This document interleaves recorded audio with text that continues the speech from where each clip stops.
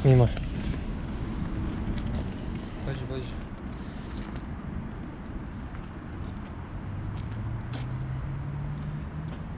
Ovu jabuku sam držao jedno mjesec ili čak i dva na radnome stolu.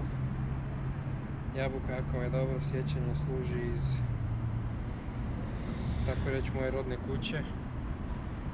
Uskoro će biti godinu dana kako je djed umro. Zadnji dan je 2018.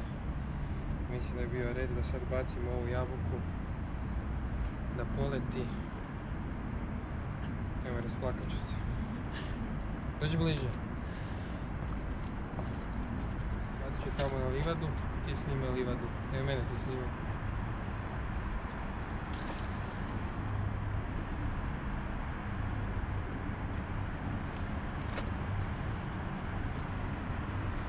гаснет